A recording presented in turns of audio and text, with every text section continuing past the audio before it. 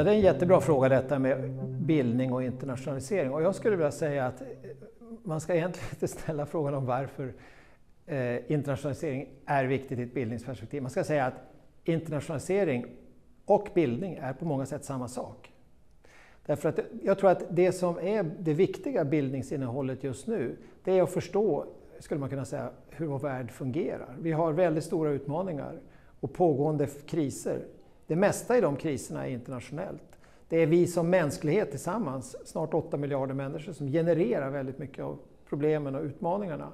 Utan att vi vill det och utan att vi tänker på att det är det vi gör. Men effekterna blir sådana.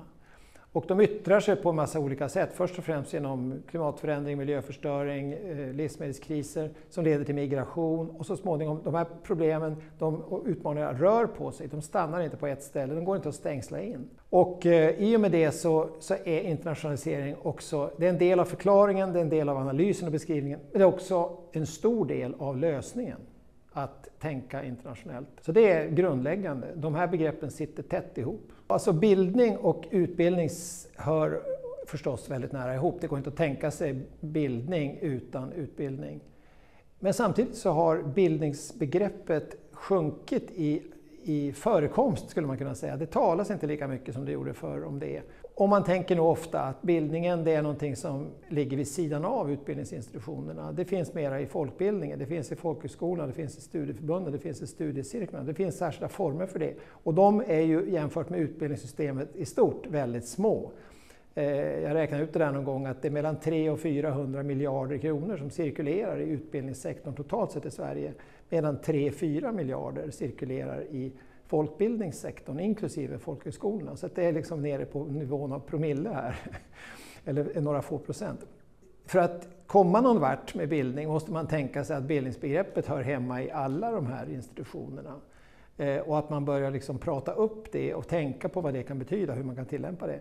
Och då finns det liksom ingen början och inget slut på det. utan eller en början finns det, men inget slut. Man, man, kan, man måste börja tidigt. Man, man, bör introducera bredare sätt att förstå saker och, och sådär när, när barnen är väldigt små. Och det är också viktigt att betona internationalisering när man gör det. Att, att liksom, men man gör det på olika sätt, på olika stadier, hela vägen upp till universitet och till och med forskarutbildning.